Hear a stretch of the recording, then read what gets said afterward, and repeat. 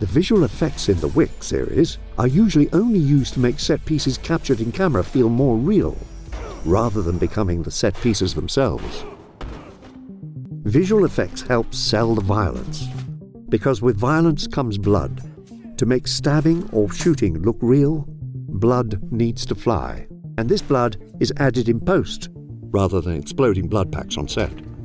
To make the blood look as real as possible, visual effects artists would film fake blood spraying in front of a black or green screen, allowing them to isolate the blood and add it wherever it's needed in a scene.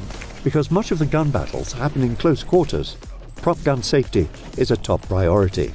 The Wick team uses plug guns, prop guns with blocked barrels so that when they eject a cartridge, nothing is released. The muzzle flashes and gun smoke are then added in post.